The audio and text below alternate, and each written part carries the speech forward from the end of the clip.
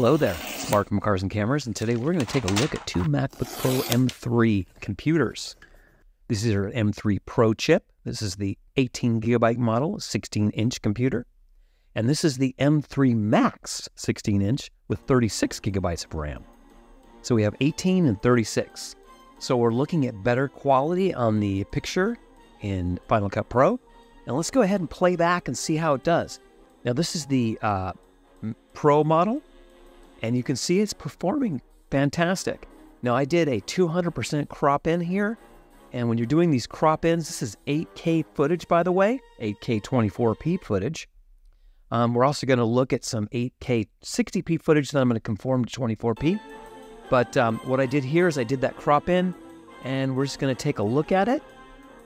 And it seems to be playing back smoothly. Then when I drop these clips in, they render immediately. I was going to kind of time each model back and forth and compare, but it's happening so fast between the two models, I don't really, it's not really necessary. So this is the crop in that I'm doing there uh, with the subject across the street, and it's it's working very smoothly. I see no glitches whatsoever. We'll go ahead and try this on the 36 gigabyte model. Uh, it should be exactly the same. So this is the Max uh, chip model with 36 gigabytes of RAM. And as I said earlier, they both have one terabyte hard drives. And this one is playing back exactly the same as the Pro chip model, which is to be expected. Okay, so let's go ahead and play around with another clip. Now, this one here, uh, see what I can do. So let me line it up. And I don't know if I want to do a. Uh, so this one is a uh, reverse crop. It's basically we're starting off on the billboard sign, and we'll see how that works. Yep, it's playing it back perfectly smooth. All right, so let's move on to the uh, Max chip model and see how it does. And there it goes, playing it back perfectly smooth, as expected because it's working fine on the Pro model. All right, let's move on to the next test.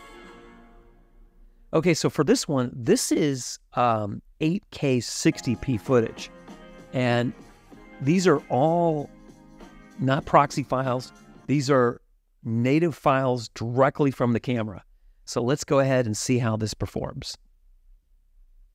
So this has been conformed to 24p and the M1 and the M2 would just be choking with this. And it is working very well on the Pro model. I'll play it a little bit more, then we'll move on to the Max model. I am very impressed with the uh, how well this is working. Okay, so now we, we have the, uh, this is the Max chip. It's playing it back exactly the same. Yeah, I really didn't think that, uh, especially with this 8K footage, that this was going to work out as well as it is. I really thought that uh, there was going to be some dropped frames, you know, issues happening with the uh, uh, with this, but it's it's working great. Okay, so for the next clip, uh, we're going to go ahead and just perform a a crop in. So this is just the master shot, and then I'm going to go ahead and punch in because it's 8K. So I'm going to punch in quite a bit here, almost 300%, I think I did. And then we're just going to do a close up and then go, you know, kind of widen out here. And it just does it instantaneously. So a lot of times you'd be waiting for it to render and to be, it'd be kind of glitching a little bit, but this is very smooth. So let's go ahead and look at the clip again. We'll do it full screen. And this is better quality. And that's also a problem because a lot of times when you're doing this, you got to go to better performance. It's going to start dropping frames, especially when you're dealing with the 8K footage. It just really struggles with that. And this is 8K footage from the uh, A7R5, and it's working great. Very good. All right, so let's go ahead and move on to the uh, Max chip. I kind of set up the same clip and see how that one performs. Then we go ahead and go to full screen. And it works the same. So the next test is I'm going to do is I'm going to do uh, an export. And I got to believe that the export speeds are going to be faster on the, uh, the Max chip. But let's go ahead and see. So I'm going to go ahead and export this in ProRes. And it's a pretty big file. And let's see how long it takes. Of course, I'm going to speed it up because I'm sure it's going to be several minutes. Here are the two machines all ready to go. And I'll go ahead and start them, and they're, they're going. Okay. So now we're about seven minutes in, and in seven minutes and 24 seconds it took for the, uh, the Max chip, and a little over 10 minutes on the uh, Pro chip.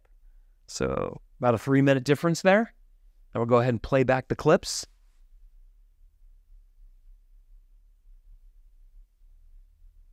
Seems to be working very good. Very good. All right, so go ahead and take a look at these machines. So they have the exact same ports. Everything's the same about them. And, you know, I've tested the 14 uh, inch uh, MacBook uh, Pro models, the M3, and I got to say, the 16 inch model, while it is a big computer, you can see the ports on it are exactly the same on the two models. This is what you're going to get on both sides. But I got to say, um, I really like this machine a lot. I like both these machines. I mean, obviously, you know, if you're a professional and, you know, time is money, you probably want to go with that Max chip. But if you want to save a little bit of money, there's nothing wrong going with the Pro chip. And it has very, very nice speakers. In fact, at the end of the video, I will play uh, some of the clips so you can see them uh, at full volume. Um, I like the nice trackpad. So when I first opened the box to these two computers, I had to say, wow, they are big. But I have to say that the screen is absolutely gorgeous. You know, that 16 plus inch screen is really nice. Uh, I really like the bigger trackpad and the speakers on the computer. I usually use headphones, but um, I really like the speakers on the computer quite a bit. Uh, I've been watching movies on the computer and, you know, using it for Final Cut Pro and my work. It's really working out really great. Whether you need that Max chip or that Pro chip, I'll leave that up to you. Guys, I hope you liked this video. Be sure to like, share, and subscribe, and have a wonderful day.